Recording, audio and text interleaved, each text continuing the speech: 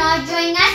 This is my friend Miral, And we will doing now a tiny orange experiment. For this purpose we need two oranges and a jug with full of water. So let's start.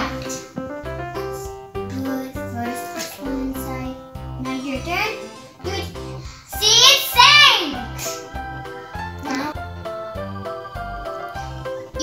See guys it sinks. Why is it so, Ma? Because it it's heavier than water. So let's put this one up and see. Okay. Do like pancake one. It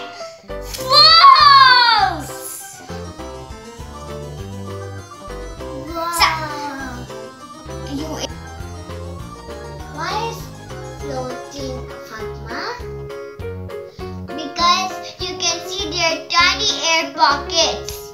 That's why it floats without cover. Let's see this. Sorry guys, with cover. Without feeling it sinks and with feeling it floats. Guys, you can do this experiment at your home if you want to watch more experiments. Press the bell icon.